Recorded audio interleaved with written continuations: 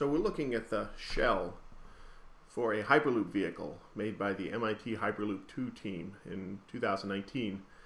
And this is the plug and in red what would become a mold if this were built first with a plug and then with what I call a female mold. I'm just looking at the geometry now to get a sense of it. It's about two meters long and there's a 150 millimeter slash six inch flange that we've put on the edge here and trying to decide how to build it. And now we're looking at the surface.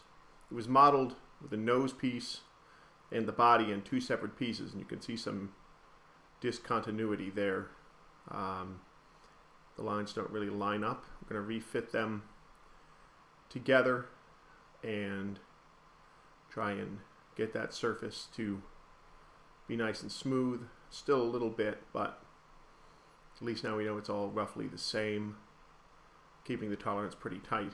Um, decided to build it in a fe direct female mold, and we're modeling in a gap, six millimeters, between the nose and the body piece, which will turn out to be a mistake um, because they're to be built in one piece instead of in two pieces. This was a piece of information I had failed to gather at this point.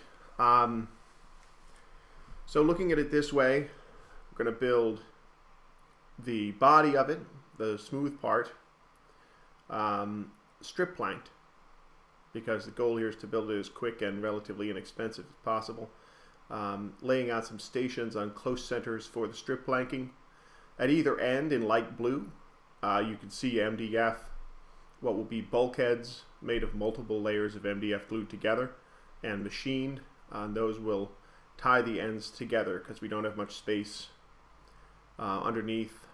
Not much back backbone to this mold.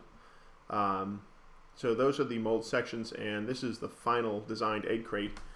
The nose with the compound curvature is going to be machined out of layers of solid MDF. Now we're looking at the egg crate clearance features for where the sheets slot together. These are the longitudinals, and because it's going to be cut on a router uh, with a bit with diameter, uh, putting these little ears on the slots. So because the machine can't cut perfectly square inside corner.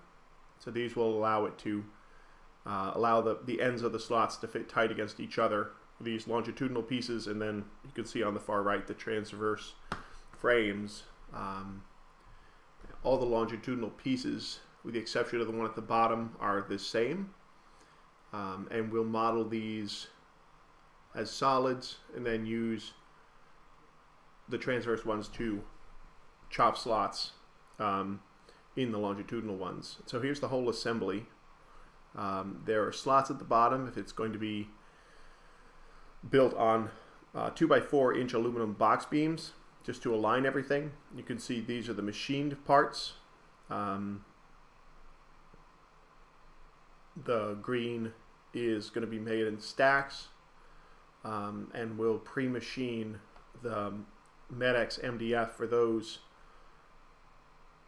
blocks. Um, here they all laid out with on the right um, just a pre-cut set of MDF sheets will machine out on the router um, so they can be glued up just so we don't have to glue up these huge blocks